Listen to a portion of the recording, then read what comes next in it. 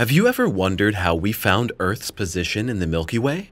We know today that our Earth is located in one of the outer spiral arms of a galaxy, but this knowledge is not as old as you might think.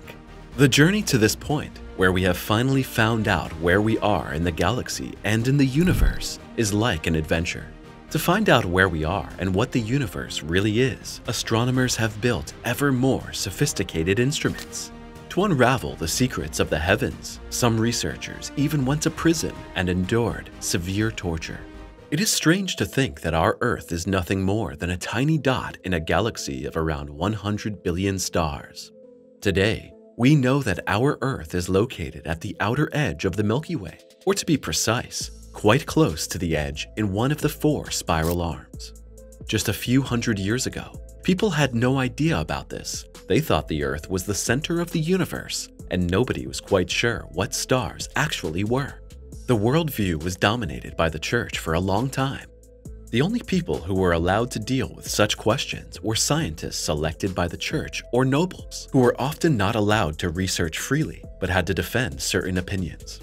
If others came along and suddenly claimed things that deviated from these norms, they had to expect harsh punishments.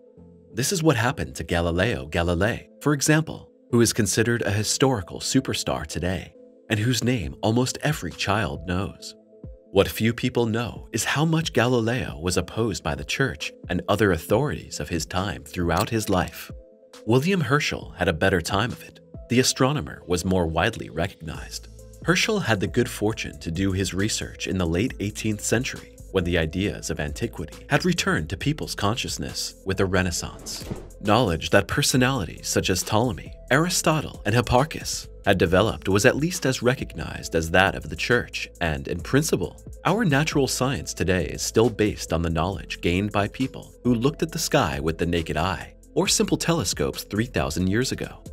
In the 4th century BC, a man called Democritus already realized that the points of light in the sky were other suns and, strangely enough, this Democritus also had knowledge of atoms as the small building blocks of matter. Today, we can only smile about how this man came to his knowledge. For a long time, people still assumed that the points of light in the night sky had been pinned there by a god, and it's only since the 1920s that we have actually known for certain that we are located within a galaxy with many other suns, and what's more, that our galaxy is not the only one. Celestial mechanics is a miracle. Imagine for a moment ordinary people looking at the sky hundreds of thousands of years ago. They saw a bright white disk moving across the sky during the day. This was periodically joined by another shape, which sometimes appeared circular, sometimes semicircular, and then like a crescent before disappearing completely for a while. As soon as it got dark, points of light appeared in the sky which, in a world without any light pollution, must have looked like a sea of fireflies all over the globe. People began to observe the changes. They recognized lunar cycles, the changing phases in the course of the sun, and they saw that the starry sky was also changing. People were particularly fascinated by the events in the sky. They built their cults around it, erected sites such as Stonehenge, and slowly developed sciences that dealt with the connections between the processes in the sky and those on Earth. We have known that the Earth is not flat since Columbus sailed to America. Before he was able to prove this, Columbus had to endure fierce attacks, be humiliated by the church and his contemporaries, and fear for his life. Galileo Galilei suffered a similar fate in the 16th century. Among other things, he discovered the four largest moons of Jupiter and realized that the Earth was most likely not the center of the universe. The passionate scientist was interrogated several times, had to hand over his work equipment, and was placed under house arrest to prevent him from spreading his heretical views. His compatriot and contemporary, Giordano Bruno, publicly expressed the idea that the universe was infinite and that stars could be distant suns within their own planetary systems. His knowledge and courage earned the man interrogation, torture, and ultimately death at the stake. For long periods of time, science was really only something for the hard-boiled or those who were in the special favor of nobles. He succeeded in mapping the sky for the first time, William Herschel. William Herschel had better starting conditions than Galileo and Bruno. Born in Germany, Herschel actually came into the favor of English aristocrats as a musician and eventually blossomed into an important astronomer and scientist. It's interesting to note in this context that music and astronomy were inextricably linked in ancient times. Researchers such as Aristotle claimed that the universe emitted sounds, and some even believed that this music of the spheres carried information through the universe. Whether this is why ancient scientists had their unusual knowledge is a fascinating question that we will probably never answer. But back to Herschel, who succeeded in discovering the planet Uranus in 1781. This catapulted the scientist into the top league of astronomers of his time, and he received plenty of support for his further research. Herschel was not only an unusually talented musician and astronomer, but also built some of the best telescopes of his time.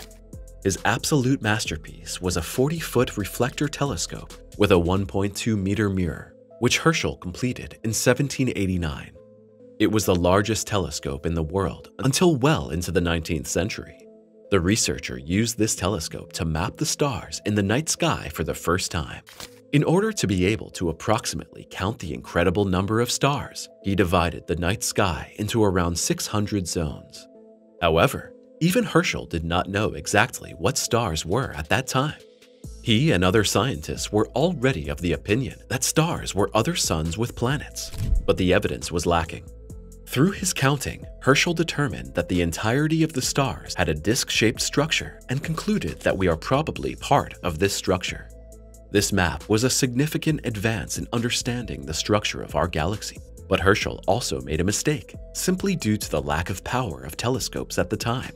He did not know about interstellar dust, which blocks the light from stars and makes the central region of the galaxy appear darker. As a result, he assumed that the center of the Milky Way was less densely populated with stars than it actually is. His estimate of our Earth's position within the structure was also incorrect, as he saw us in a central position within the disk, and this is not true. More than 100 years passed before we finally discovered that we are only a small part of a galaxy that is only one of millions. Shock in the 1920s, the Milky Way is a galaxy. Can you believe that up until the 1920s, scientists still had to assume that the Milky Way was the universe?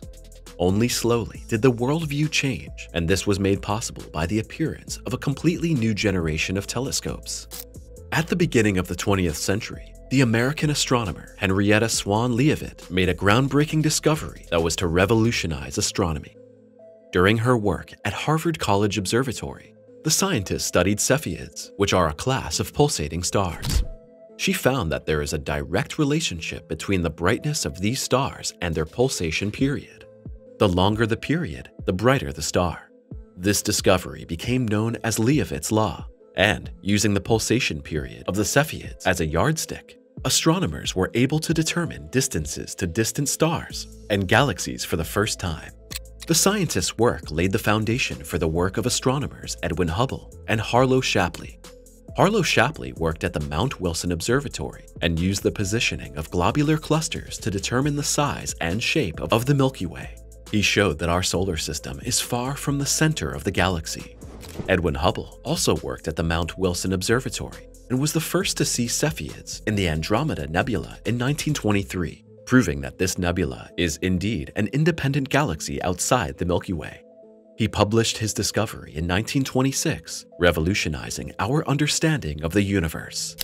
Hubble's work led to the shocking realization of how large the universe really must be, and this development has not stopped to this day.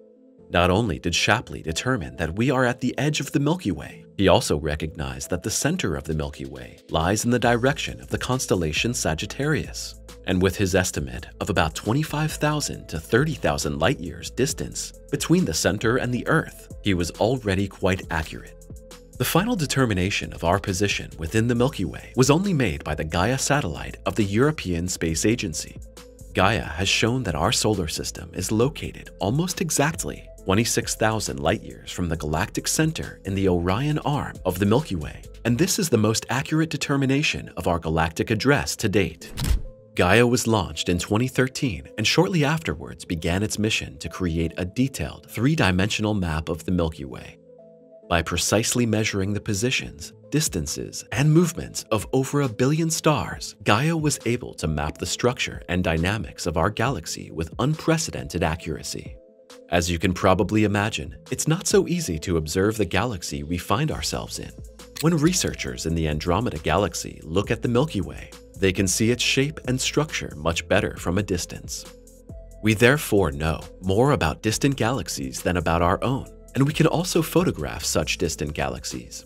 With the Milky Way, however, things become more difficult, as we are a long way from being able to send a probe beyond the borders of the Milky Way and take a galactic selfie of ourselves. Most representations of the Milky Way are therefore artistic interpretations or images composed of fragments and simulations. Click on subscribe now and be part of every new video.